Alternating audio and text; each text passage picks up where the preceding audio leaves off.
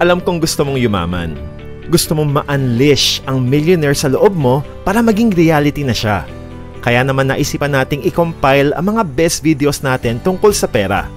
This video will be your ultimate guide para ma-master ang pera so you can effectively make it grow. Mula sa mga big financial mistakes na dapat mong iwasan hanggang sa mga best strategies para sa tamang pag-handle ng pera plus the number one money lesson na dapat mong malaman para ma-multiply mo ang pera mo to the point na magkakastampid na yung bank account mo sa dami ng mga tao sa pera mo. Nandito na lahat sa video na to. Kaya naman please stay tuned, absorb, and apply the insights na malalaman mo and unlock your true financial potential.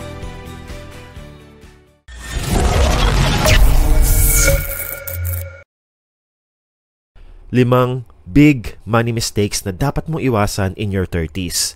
Para sa akin, ang 30s to early 40s na edad ang pinaka-importanting decades sa iyong financial life. Why?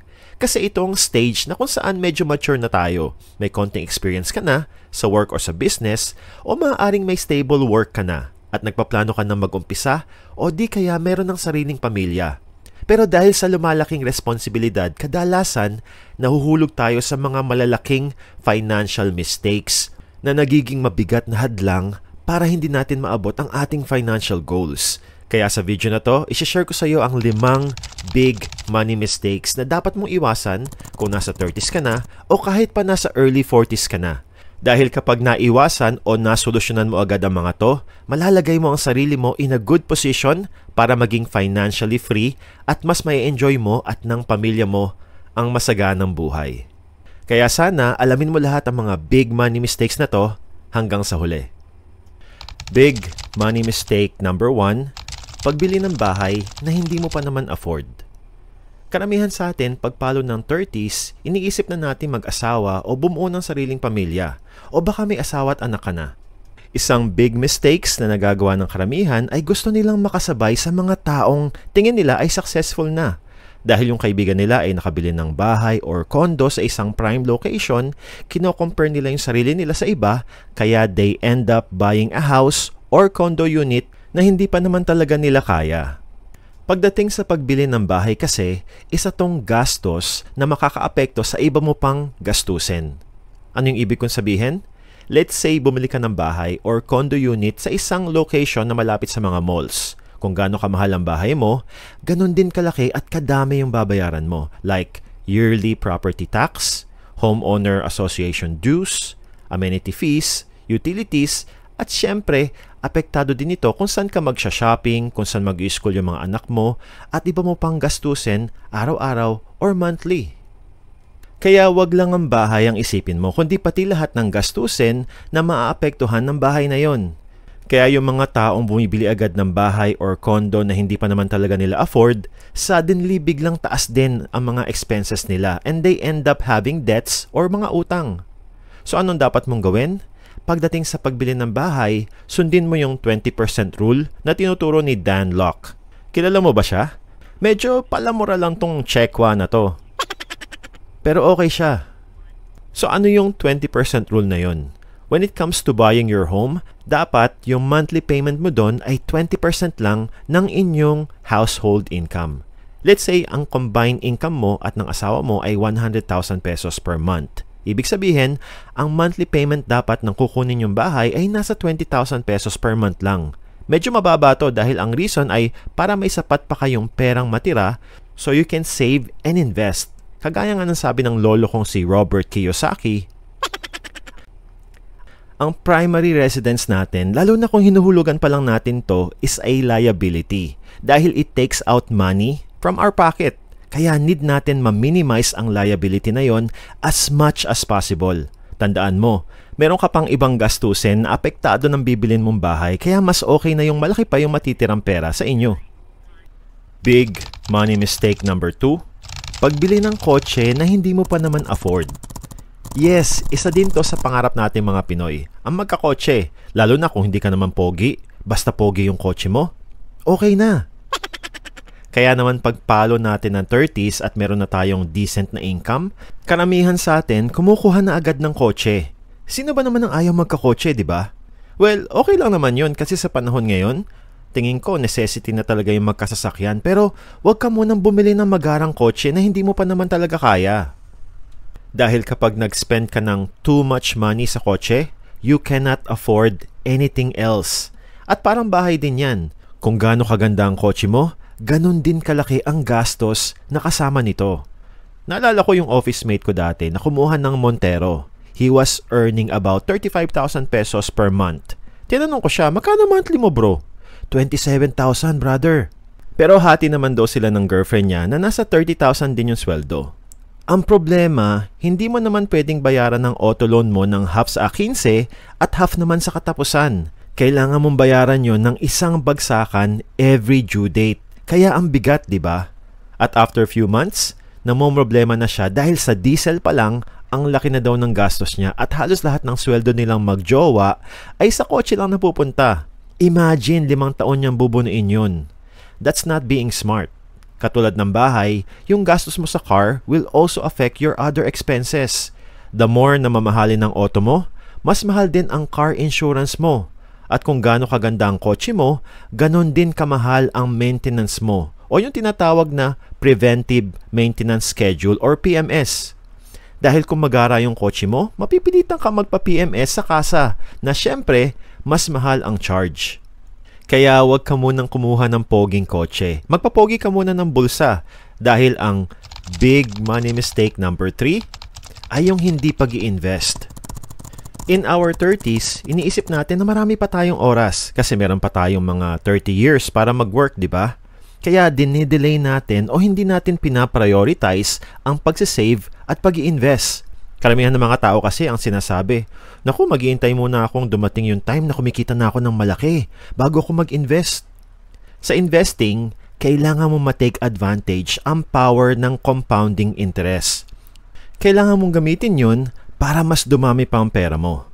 Kung napanood mo yung ibang videos namin about investing, ini-encourage ko na magtabi ka ng 10 to 20% ng iyong income at ilagay mo yon sa isang investment vehicle like stock market. Kung wala ka pang idea paano mag-invest sa stock market, gumawa ako ng detailed at simple video tungkol dito. I-check mo to mamaya. Basically, what I'm trying to say is, sa pag-invest, ang pinakamalakas mong kakampi ay time. At the sooner you invest, the more money ang pwede mo ma-accumulate. Let me give you an example. Let's say 30 years old ka at nakapag-invest ka lang ng a total of 10,000 pesos every year wala pa yung 1,000 kada buwan. Pero let's say, yun lang yung kaya mo. 10,000 pesos per year. At let's say, ang average interest rate ay 7%. Pero based sa history, nag-average yung stock market natin ng 12% interest return over time. Pero to be safe, sabihin na lang natin na 7% lang yung annual interest return. By the time na mag 65 years old ka, you will still have 1.4 million pesos. Pero let's say hindi ka kagad nakapag-invest when you were 30 at nag-start ka lang mag-invest pagpalo mo ng 40. Investing ganun din 10,000 pesos per year at 7% interest rate. Sa age 65, magkakaroon ka lang ng 650,000 pesos. Ang laki ng difference, di ba? Kaya napaka-importante na makapag-start kang mag-invest sa lalong madaling panahon at ma-maximize mo ang halaga ng kaya mong i-invest. Dahil over time, you will reap the rewards. Don't wait to invest. Mag-invest ka and then wait. Big money mistake number 4, hindi pag-develop ng yung high income skill. Bakit ba importante mong ma-develop yung high income skills mo? Bakit napaka-importante na ma-increase mo yung income mo every year? Siguro napansin mo na din na with inflation, patuloy ang pagtaas ng gastusin natin taon-taon, di ba? Sabihin na lang natin na tumataas ang cost of living natin by 4% every year. Kapag yung income mo remains the same, you're becoming poorer by 4% every year.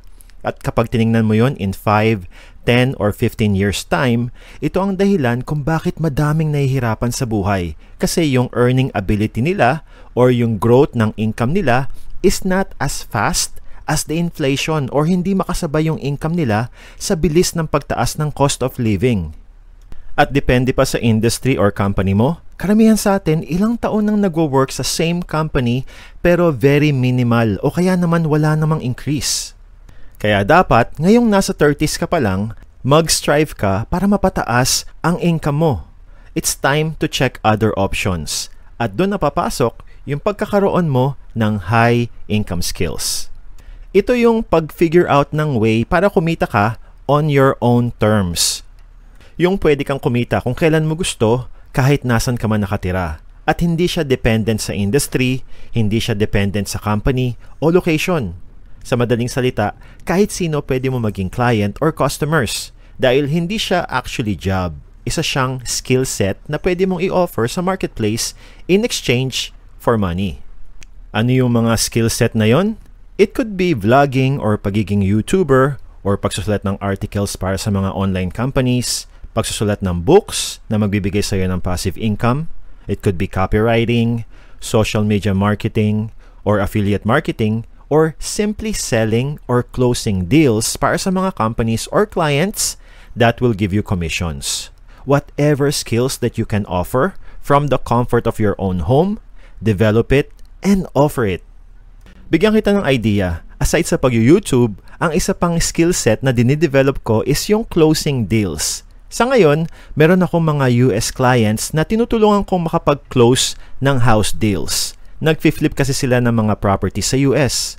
Parang buy and sell, pero sila, they earn through assignment contracts. Let's say, merong seller na nagbebenta ng bahay for $100,000 ang gagawin ng mga clients ko ay iaalok yung same bahay na yon sa ibang buyer for $110,000. At yung 10,000 na patong nila, yon ang kita nila. They literally flip the property. Kaya the lower the house prices, the higher yung kita nila syempre. At doon na ako papasok. Ang task ko is to negotiate the lowest price possible with homeowners. At aside sa hourly rate, they pay me 10% commission. So kung $10,000 yung kita nila, like sa example ko kanina, I get $1,000. Not bad, di ba?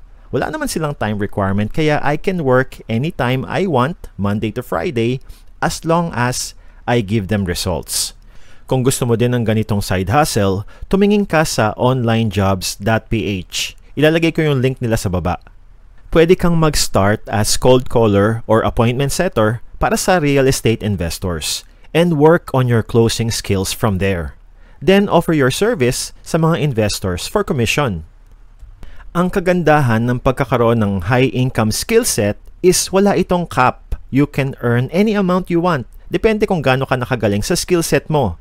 And I don't know about you pero mas gugustuhin ko nang i-develop ang high income skill set ko in say 2 to 3 years na pwedeng magpalaki pa ng kita ko ng 10, 20, 50, or even 100% more kaysa magstick lang ako sa day job for many years na wala namang ganong increase.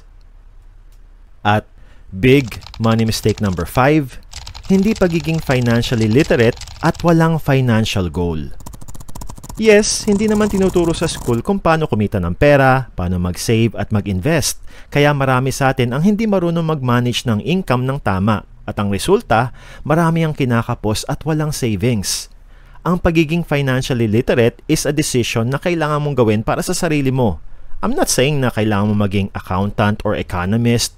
Ang ibig kong sabihin is knowing some of the basic understanding of how things work in terms of your finances. Like, paano mag-budget ng tama, paano basahin at maintindihan ang iyong financial statements, understanding good at bad debts, ano ang mga assets versus liabilities, understanding basic investment vehicles like index fund, mutual fund, at stock market, at syempre, pagseset ng financial goal. Hindi mo naman kailangan maging expert trader or expert investor or maging financial guru, but just having basic knowledge para malaman mo kung paano mo mapapangalagaan at mapapalago pa ang pera mo. Parang pag-aaral lang ng math hindi mo naman kailangan matutunan ng mga complex mathematical operations like integral at differential calculus or trigonometry. Actually, hanggang ngayon, hindi ko alam kung saan magagamit sa pang-araw-araw na buhay natin yung tinuturo sa trigonometry. Yung mga sine, cosine, tangent, cotangent. Actually, ginulo lang nun yung nananahimik kong utak nung high school. Ang kailangan mo lang matutunan is yung basic math operations like syempre counting, addition, subtraction, multiplication, at division. Dahil kakailanganin mo to to function well sa pang-araw-araw mong trabaho or transactions. Yun lang ibig kong sabihin. Know the basic dahil pagdating sa financial literacy, what you don't know will hurt you. Yung mga financial books na hindi mo binabasa will cost you money. Yung mga financial videos na hindi mo pinapansin may hold the key to your financial freedom. Kaya spend a little time to read books, read financial articles, watch financial education videos, and set your financial goal. Set an amount kung magkano yung gusto mong kitain monthly or yearly hindi sapat yung basta gusto mo lang kumita ng malaki. No, be clear with what you want. Para maging clear din yung mga actions na kailangan mong gawin to achieve it. Pagod ka na ba sa pakiramdam na parang ikaw ang kinokontrol ng pera? Yung bigla na lang silang nawawala at hindi mo alam kung saan nagpupunta. At kung kailan kailangan kailangan mo sila, saka sila hindi dumadating. Kung nabubuhay ka from paycheck to paycheck o laging hindi halos nagkakasya ang pera mo sa isang buwan, then chances are kailangan mong i-manage ng mas mabuti ang pera mo. Kaya naman sa video na to, bibigyan kita ng 7 wise strategies kung paano mo ma-handle ang pera mo ng tama that will avoid you headaches in the short run at makakatulong naman sa iyong maabot ang financial goals mo in the long run.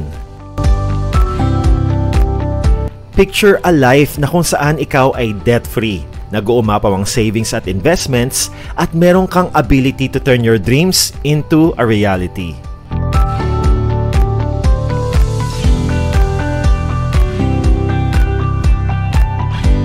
Panahon na para ikaw ang mag-take control ng iyong financial future.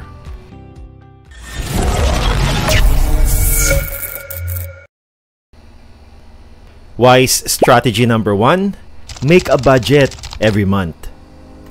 Close your eyes and imagine na yung financial dreams mo ay isa ng dazzling reality. A life filled with adventure, accomplishments, at endless possibilities. Ang masaya at masaganang buhay na to begins with a simple pero powerful act, ang paggawa ng budget. Malamang alam mo na kung gaano to kaimportante at alam mo na ding dapat mo tong gawin pero bakit iilang tao lang ang gumagawa nito? Hindi lang dahil boring para sa karamihan yung mag-handle ng numbers, kundi dahil kapag nakikita mo yung perang kailangan mong iset aside, medyo masakit yun, di ba? Kaya naman maraming tao ang hindi to ginagawa. Pero kahit na hindi to masayang gawin, kapag ginawa mo to regularly, you will see your life improve at lahat ng financial worries mo will soon disappear. So, paano nga ba gumawa ng monthly budget? Well, hindi mo naman kailangan maging mathematician para makagawa ng budget. A budget is simply a snapshot ng mga perang dumadating sa'yo at lumalabas. Sa isang papel or mas mabuti kung magkaroon ka ng notebook para dito, hatiin mo yung pages into two parts. Sa left side, ilagay mo lahat ng perang pumapasok mula sa sahod mo at sa iba mo pang sources of income. Ito ang easy part.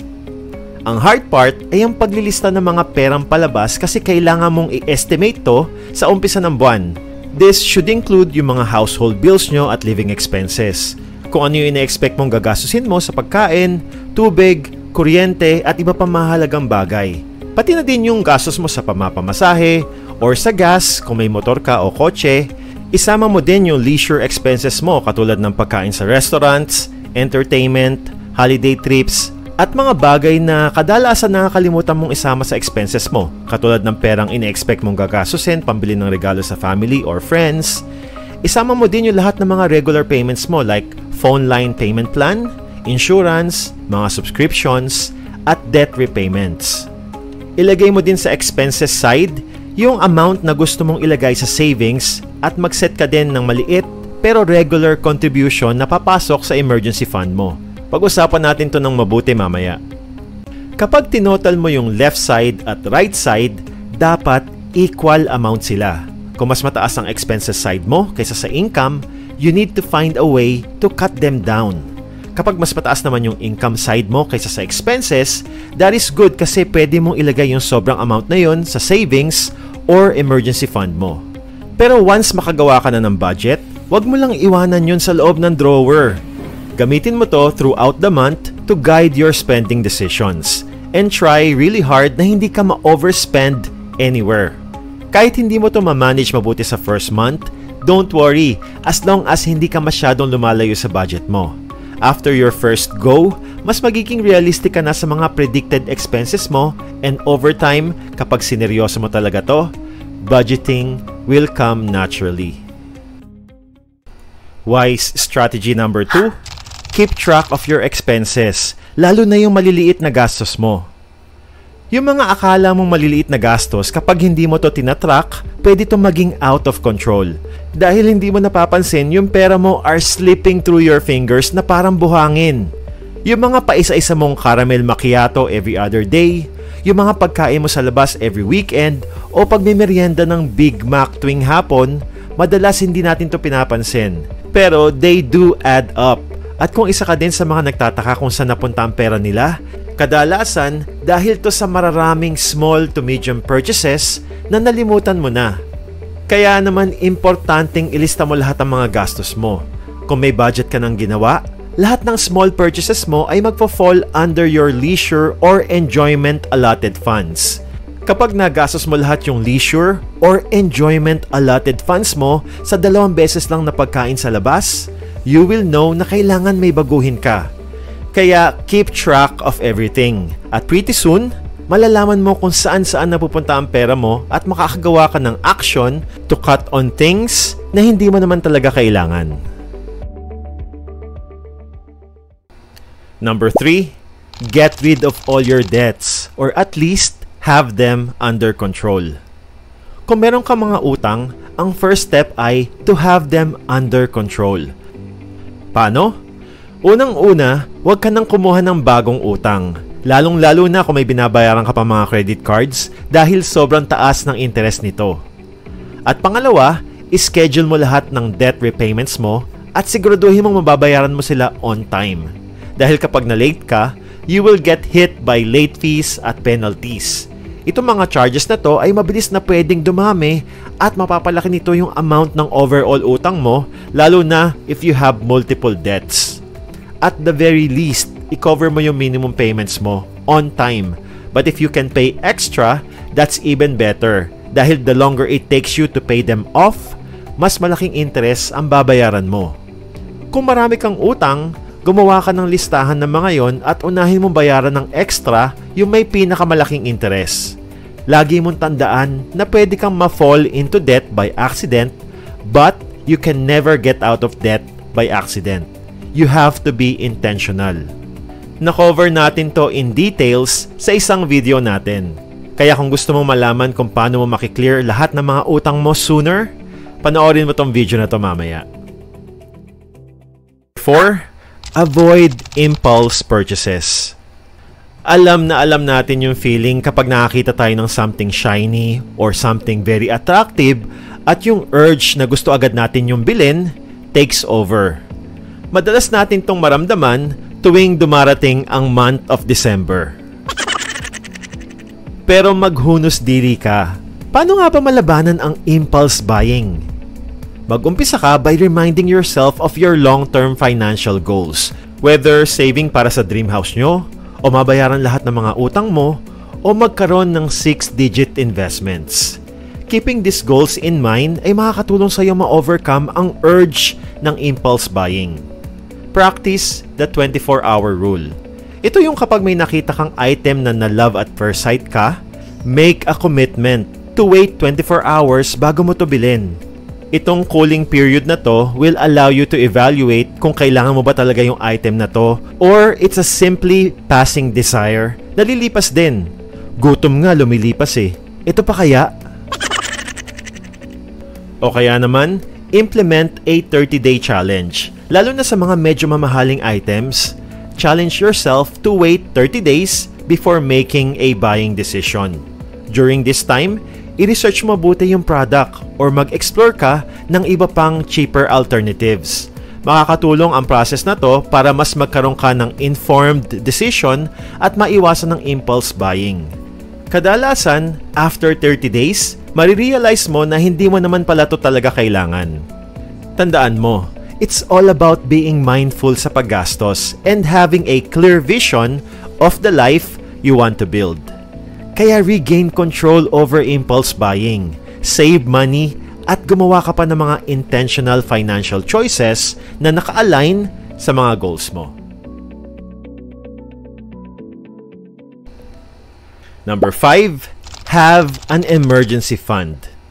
Ang buhay natin ay parang roller coaster, punong-puno ng mga ups and downs, twists and turns, at alam nating lahat na any moment pwede magkaroon ng unexpected expenses. Kaya naman ang pagkakaroon ng emergency fund ay hindi lang wise, it's essential. Picture yourself standing tall sa gitna ng mga pagsubok sa buhay dahil alam mong protektado ka financially. Ang emergency fund ay parang armor, offering peace of mind and the ability harapin ang mga pagsubok ng buong tapang. Dahil kapag may emergency fund ka, pwede mo maharap ang mga unexpected expenses at hindi ka aasa sa pangungutang. Whether bigla ang repair sa kotse mo or motor, o may bigla ang sira sa bubong ng bahay nyo, o kaya naman bigla ang medical bills na hindi covered ng insurance or health card mo. O di kaya naman sudden loss of job or income na katulad na nangyari nung pandemic. With your financial safety net in place, you are in control at mas makakapag-focus ka sa mga bagay na mas mahalaga sa iyo. Katulad ng pagpapalaki pa ng income mo at pagtupad ng mga pangarap mo lalo na yung mga magagandang plano mo para sa mga mahal mo sa buhay. Kaya naman mag-aim ka to have an emergency fund na katumbas ng tatlo hanggang anim na buwan ng income mo. At syempre, kung nagugustuhan mo yung video na to at may napupulot kang aral, pakipitik mo naman yung like button ng very very light Maraming salamat sa suporta. Wise strategy number 6, have a monthly savings goal. Pagdating sa pagsaset ng goals, lalo na financial savings goal, kailangan mo maging specific. One of the main reasons kung bakit maraming taong hindi nagsaset ng goals at lalo na hindi nakaka-achieve ng goals ay dahil most people are not clear or specific sa goals nila. Example, kung ang goal mo ay I want to have big savings on my bank account. Hindi to goal. This is a wish. Ang goal is something like, I want to have 100,000 pesos sa savings account ko in the next 12 months. Now, that's a goal. At paano matutupad ang goal na yon? Reverse engineer it. Break it down to what you need to do, kung saan ka dapat mag-focus, at anong skills ang kailangan mong i-upgrade kasi kadalasan kapag may goals ka, kakailanganin mong i-upgrade o i-develop pa ang skills mo or yung mental capacity mo. Kasi kung anong meron ka ngayon ay dahil yan sa current skills at mentality na meron ka. So kung gusto mong pumunta sa next level, kailangan mo maging better, to learn more, to become more. So let's say ang goal mo is to have 100,000 pesos in savings sa susunod na 12 months. Break it down divide it monthly para malaman mo kung ano yung magiging monthly savings goals mo. I-simplify mo pa siya by dividing it weekly. And then finally, divide it daily para mas malaman mo kung magkano ang dapat mo masave araw-araw at ano ang dapat mong gawin o adjustments at strategies to accomplish this monthly goal. At kapag may savings ka na sa bank account mo, you will have disposable income para magawa ang number 7. At yon ay to invest wisely. Ang daming very hardworking people, mga dating engineers, dating nurses, mga OFWs, or dating celebrities, dating mga basketball players who earned good income pero nung nag-retire na at after maubos ang retirement money, ay umasa na lang sa mga anak o kamag-anak nila. Or worse, may ilang pang umaasa na lang sa tulong mula sa ibang tao. Don't let this happen to you. Kaya as early as now, you have to invest your money and let it work for you. You can invest sa real estate or sa sarili mong negosyo At sa paper assets katulad ng mutual funds at ang paborito kong pag-investan, ang stock market. Tingnan mo yung mga cute mong anak ngayon. Gusto mo bang after 10, 20, or 30 years, sasabihin mo sa kanila, Mga anak, pwede ba makahingi pambili ng gamot? You don't want that. You wanna have millions in 10, 20, or 30 years from now para sa iyo at sa pamilya mo. How to do it? Start investing now. Nadinig mo na ba ang story ni Gina Makahilos? Siya lang naman ang maid na naging millionaire. Siguro may mga similar stories ka din na nadinig tungkol sa dating basurero na yumaman o dating kargador sa palengke na milyonaryo na ngayon pero karamihan sa kanila ay yumaman dahil sa negosyo. Yes, ang pagninegosyo is a great way para yumaman pero kahit simpleng empleyado ka pala ngayon, pwede ka pa ding maging milyonaryo. Kasi si Gina ay hindi naging milyonaryo dahil sa negosyo hindi na siya maid ngayon, pinromote na siya as bookkeeper ng boss niyang si Brother Bo Sanchez. But still, she became a millionaire as a regular employee na katulad ng karamihan.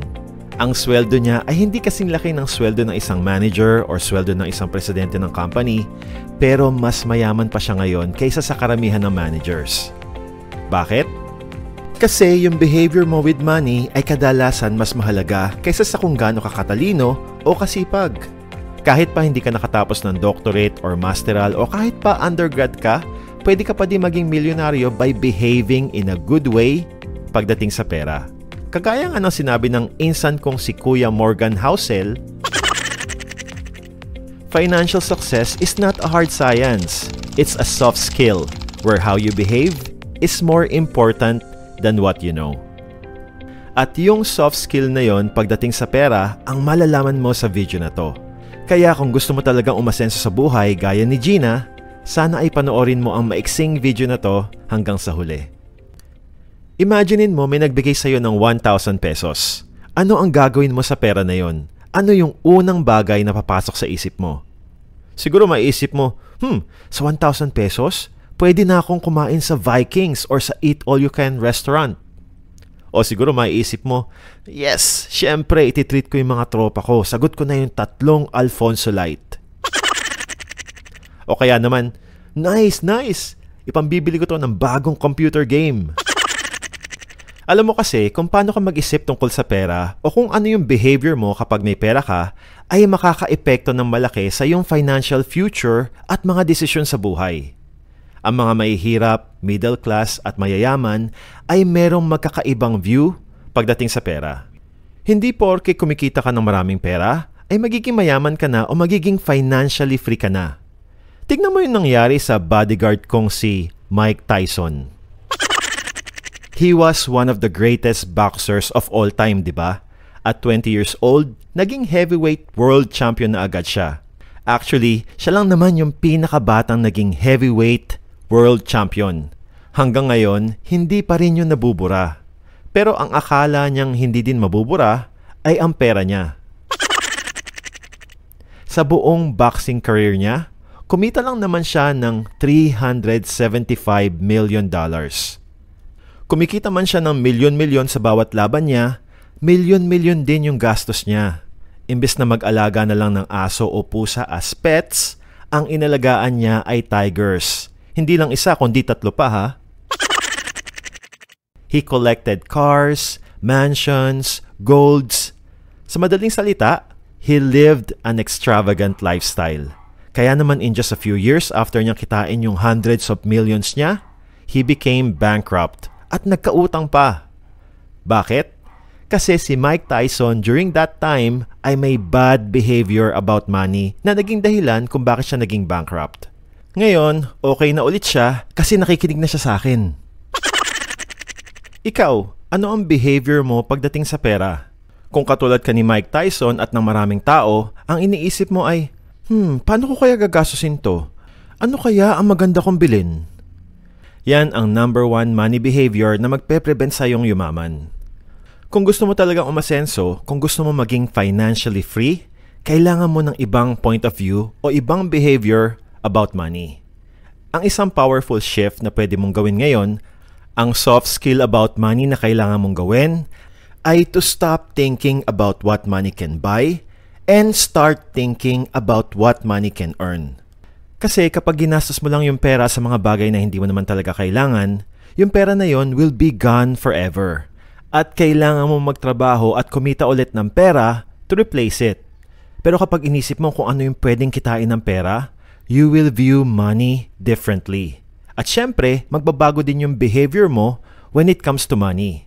Huwag mong isipin na more money will solve the problem. Kasi kung hindi mo nagagamit ang 1,000 pesos wisely, What makes you think na you know how to use 10,000 pesos wisely? O what makes you think you will know how to use 100,000 pesos wisely? O what makes you think na kaya mong i-handle ang 1 million pesos wisely? Ang mundo natin ay puno ng mga athletes, artista, doctors, lawyers, engineers, mga professionals who earns a lot of money and yet they cannot stop working dahil the moment they stop working, magiging mahirap na yung buhay nila dahil wala silang ipon at may utang pa. Why? Dahil meron silang broken behavior about money. Ang problema ay hindi lack of money. The real cause of problem is the wrong behavior towards money. Hindi ko naman sinasabing mamuhay ka ng cheap o i-deprive mo yung sarili mo at pamilya mo sa maayos na pamumuhay. No. What I'm asking you is to look at money differently. Change your behavior towards money. So instead na gastusin mo sa Vikings o sa tatlong Alfonso Light yung 1,000 pesos kanina, let's say ginamit mo yung 1,000 pesos na yon to buy books so you can acquire more knowledge, so you can become wiser, smarter. Or let's say ginamit mo yung 1,000 pesos na yon para ilibre ng lunch ang isang successful businessman in exchange tinuruan kanya ng mga effective business strategies niya.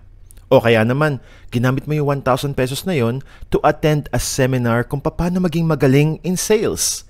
O katulad ni Gina, inilagay mo yung 1,000 pesos na yon sa isang investment vehicle like stock market na pwedeng magbigay sa iyo ng average 12% interest return in 10, 20, 30 years. At katulad ng ginawa ni Gina several years ago, she kept putting her few thousand pesos in the stock market buying stocks of giant companies at hinayaan niyang mag-work on her favor ang power ng compounding interest. Kaya naman ngayon, she is now a happy millionaire. The same 1,000 peso bill. It is entirely up to you kung paano mo to gagamitin. Stop thinking about what money can buy and start thinking about what money can earn. And your good behavior pagdating sa pera will follow. Keep doing that good behavior and soon you will become rich. No hard science, just a soft skill. Yun ang kailangan mo. Uy, pakipitik mo naman yung like button kung nagustuhan mo yung video na to. Salamat. Yes, may halong swerte si Gina dahil merong brother Bo Sanchez na nag-guide sa kanya sa tamang pag invest Basically, sinasabi ni brother Bo sa kanya kung anong company sa stock market ang bibilin at kung kailan. Hindi naman kasi lahat ng giant companies sa stock market ay equal. May mga giant companies na masyado ng malaki, kaya very minimal na lang ang ilalaki. Pero meron naman ding mga giant companies na malaki pa ang potensyal, stable na, and yet still has a long way to grow. At yon ang nire-recommend ni Brother Bo kay Gina, kaya naman mabilis na lumaki ang investments niya. At yung same guidance na binigay ni Brother Bo kay Gina ang nakukuha din namin sa Truly Rich Club. Hindi lang stock market investing guidance but also guidance about business, spiritual, at sa life. Kaya kesa ibili mo lang ng Alfonso Light yung 1,000 pesos at magpakalasing na kinabukasan pwede ka pa magka-hangover, ibili mo na lang yon ng shares ng giant companies like Metrobank. Sa 1,000 pesos, pwede ka na magkaroon ng 10 shares ng Metrobank. O di ba? Sa Alfonso, tatlo lang mabibili mo pero sa Metrobank, 10 shares.